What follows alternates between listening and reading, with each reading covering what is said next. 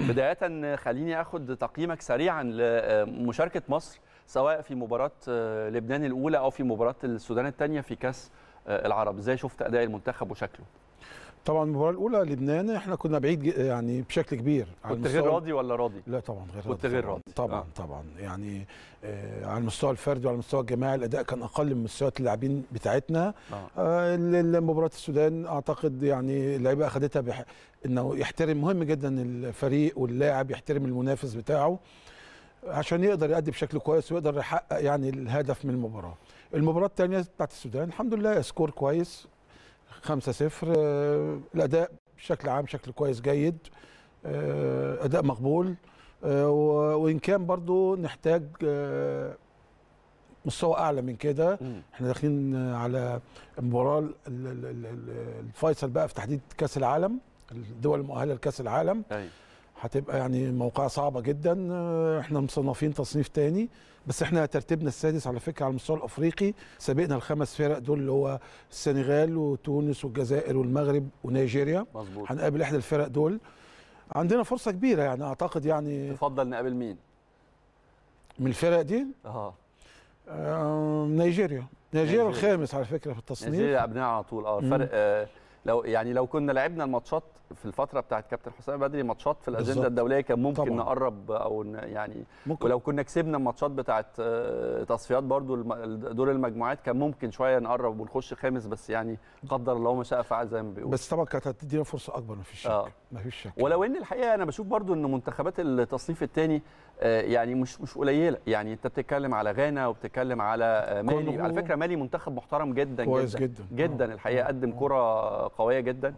آه، فبشوف إن هم منتخبات مش آه، مش مش مش برضو مش سهلة يعني. بس برضو التصنيف الأول يعني إلى حد ما برضو آه. في تفوق يعني في المستوى.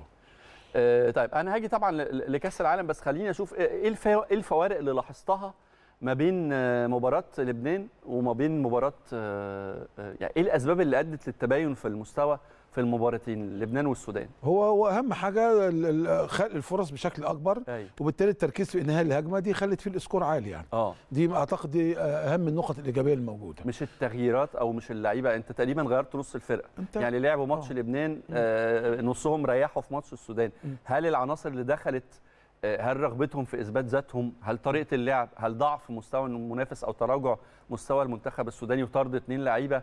هي دي الأسباب اللي أدت ولا في حاجة عند كيروش خلتنا نظهر هو- بالشكل ده؟ هو بالنسبة لمستويات اللعيبة أنت بت- بتتعامل مع يعني منتخبات دايما آه، المجال بتاع الاختيار واسع وبتختار من كل الأندية.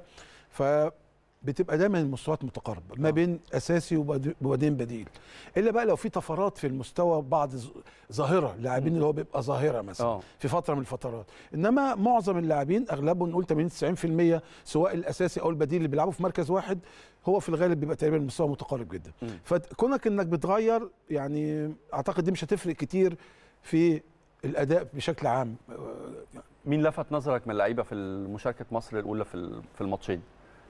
مين اللي حسيت إنه قدم مستوى خصوصا إن في لعيبة بتظهر لأول مرة يعني أنا للأسف أنا مباراة السودان ما شفتهاش ما للأسف شفتهاش آه للأسف يعني يعني الحقيقة مباراة السودان يمكن آه، عشان بس ما تالق عدد من الأسماء آه، آه آه. أحمد رفعت ليه؟ عمر كمال آه، أحمد رفعت لعيب آه، كويس أنا أعرفه من فترات طويلة كنا دربناه في في انبي يمكن من 10 سنوات وكنت بعتقد هو المفروض كان يكون في مكانة أفضل من كده بس هو ممكن يكون متكاسل شوية. إنما هو كان إمكانياته عالية جدا لو واخد الأمور بجدية أكتر من كده كان يبقى دور اللي ليه دور في المنتخبات على المستوى يعني الدولي كان هيبقى دوره أفضل من كده أنا مبسوط له الحقيقة وإحنا قلنا إنه الولد من زمان الحقيقة من أيام كابتن حساب قلنا إنه يستحق هو بالظبط. واحمد عبد القادر إن هم ياخدوا فرصة أحمد عبد. القادر أنا شايفه من أحسن اللاعبين في في في مصر الحقيقة يعني آه